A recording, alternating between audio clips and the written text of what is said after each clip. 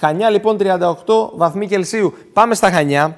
Να σου μιλήσουμε την κυρία Ελένη Ζερβουδάκη, είναι αντιδήμαρχος κοινωνικής πολιτικής στο Δήμο Χανίων. Κυρία Ζερβουδάκη, να σας καλησπερίσω.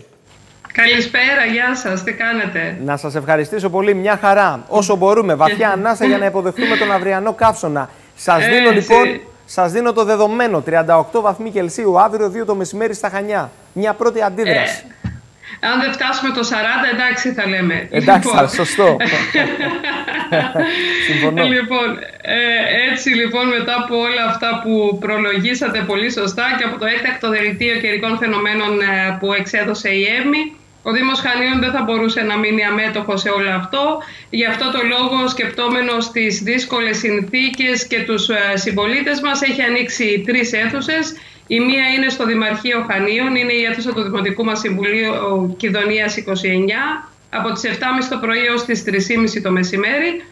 Και έχουμε και δύο καπί, το ένα είναι στις Πλάντσιες, στην περιοχή της Πλάντσιας στην Παλιά Πόλη και το άλλο βρίσκεται στη Νέα Χώρα, στην ακτή Παπανικολή, όπου θα είναι ανοιχτά από τις 8 το πρωί έως τις 8 το βράδυ.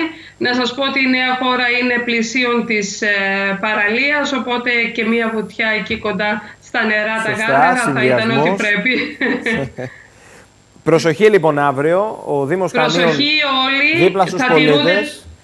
Βεβαίως, θα τηρούνται τα μέτρα, τα υγειονομικά πρωτόκολλα για την προστασία κατά της πανδημίας του COVID-19.